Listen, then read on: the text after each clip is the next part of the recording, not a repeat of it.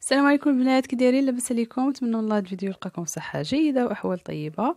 اليوم جبت لكم طبق ديال البطاطس ممكن تحضروه في خمسة دقائق. عندنا كمية ديال البطاطا على حسب المطلوب ديال كل شخص الكمية اللي بغى يدير. عندنا معها شوية الملحة شوية الكمون شوية البزار وواحد نص كاس ديال الزيت. كنحطوا كلشي في طنجرة الضغط نحطوا بطاطا نحطوا عليها معها التوابل والزيت ما كنديروش الماء.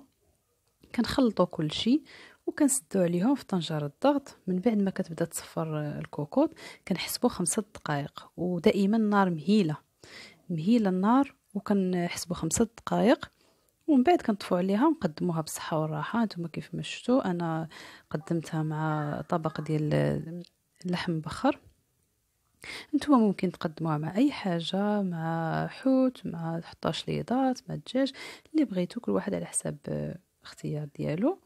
ودائما ما تنساوش جيم وابوني بارطاجيو الفيديو مع الأصدقاء ديالكم. ونتمنى لكم صحة جيدة والطبق يكون خفيف على قلوبكم. وشكرا.